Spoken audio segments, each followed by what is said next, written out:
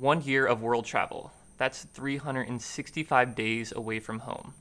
Now, you're probably thinking this guy must be rich to afford to do something like that. Well, I definitely wouldn't say that, but how much money did I actually spend? Let's find out.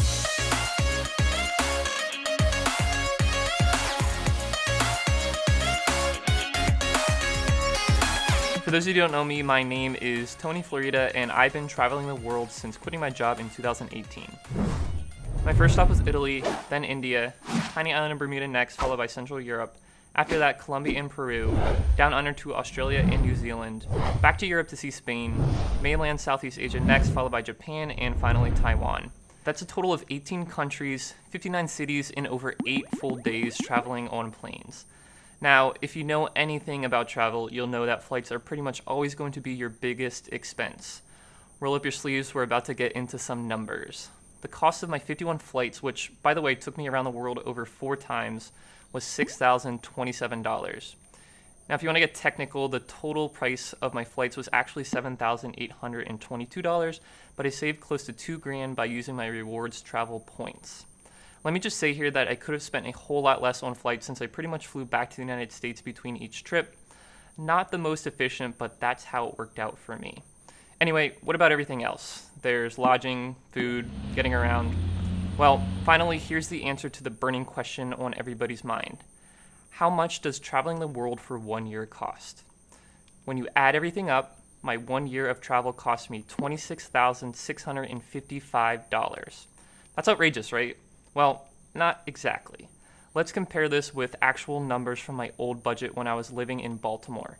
Rent was $950 a month, car insurance $85 a month, cell phone $45 a month, etc., etc. When you add all this up, my yearly living expenses in the United States was just over $25,000. Now, here's the interesting part. Technically, because I saved all that money on flights by using points, I really only spent $24,860 on my year of travel. These two numbers are surprisingly and ironically close. In fact, I go so far to say as long term world travel can be significantly cheaper than living domestically. You see, during my year abroad, I participated in a little over a month's worth of guided tours, which cost me over four grand.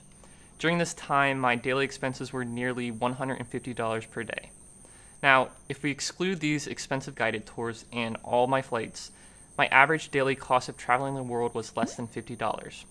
$47.07 per day to be exact. In some countries like India and Laos, I spent less than $30 a day, while in other places like Europe and Japan, my daily expenses were quickly approaching $100. In any case, most people pay double or even triple this on a hotel room alone when they travel. For me, my daily expenses are just that. They include lodging, food, sightseeing, transportation, and any other miscellaneous expenses along the way. By having a budget conscious mindset, I was able to see the world on less than I would have spent back home. How's that possible? Well, my biggest piece of advice is you must not travel as if you're a tourist, but rather a local. Instead of hiring a taxi cab, take public transportation. Instead of eating at restaurants for every meal, shop at the supermarket and cook.